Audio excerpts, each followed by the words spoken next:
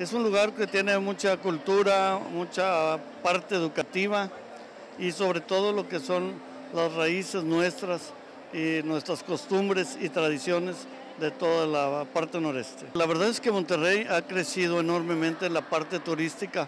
Tenemos mucho, mucho que ofrecer y en particular hemos encontrado gente que le ha interesado los paquetes que nosotros manejamos.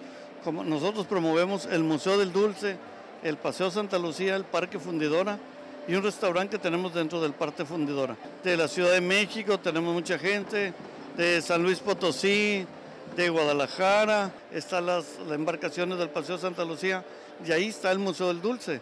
Entonces nosotros estamos aliados y ahí recibimos gente de Sinaloa, de Sonora, de México, Aguascalientes, la verdad es que de, todo el país. Encantado, muchísima gente, mucho interés, la gente muy prendida.